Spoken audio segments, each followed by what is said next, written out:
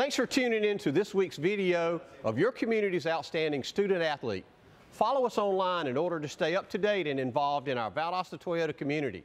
And be sure to let us know when we can serve your next automotive need. Until then, enjoy this week's featured video.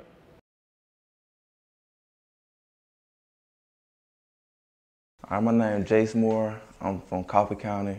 I'm a senior this year. I play basketball.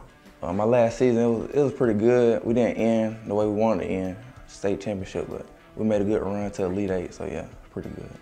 I'm a workhorse. I, I outwork everybody on the court every game, so I just hustle every game. So my play style is just hustle, I hustle people.